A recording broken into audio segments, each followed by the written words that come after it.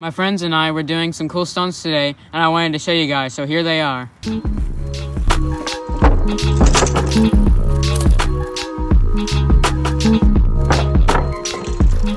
Don't mess up.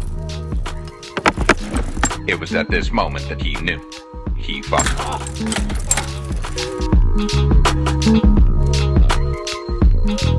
Thank oh.